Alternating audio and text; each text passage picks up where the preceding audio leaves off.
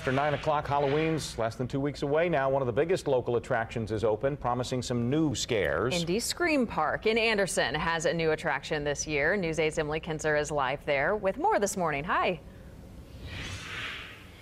Hey, good morning. Indy Scream Park's ready for another weekend of scaring everybody who comes through here. We've moved outside because I got a little too scared to stay inside. Got some creepy clowns around here. We've got we've got John here this morning.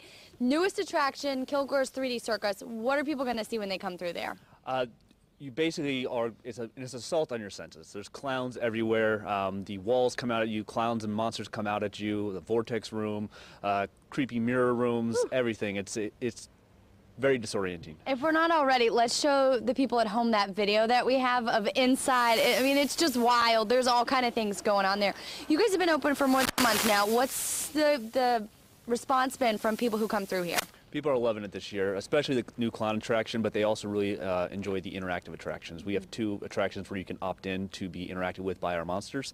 Um, so they'll take you remove you from your group put you in secret rooms hold you back. It's, uh, it's a lot of fun. People are enjoying it a lot. Clowns are creepy anyway, and now I understand why you know people may be scared of them. Um, just want to do. Cl- Um, it's a fan favorite. People love to hate clowns, and we love to provide that thrill. So it's just a lot of fun to watch the customers come through, and they don't realize that we have rooms that we can watch what's happening inside the attraction the whole Oh, time. So we can just see the customers get scared. We go through with cameras and get scared footage and stuff like that. It's a lot of fun to watch. oh, that's cool. So you guys are ready for another weekend of scaring. When can people come? How long are you around? And how much are tickets? Loaded question there. A question. We are, um, it's a lot to unpack there. We are open seven days a week right now through November 3rd. Um, tickets start at $19.95. Prices vary by night. Hey, you answered it perfectly. And we're going to also put that information on our website, wishtv.com. We're going to show you more in our 11 o'clock midday, so you'll want to stick around for that. But for now, we're in Anderson. Emily Kinzer, Wish TV, News 8. The one over your left shoulder is really good. It's just really, really good. There are a lot of times we ask Emily and others to, hey, bring something back.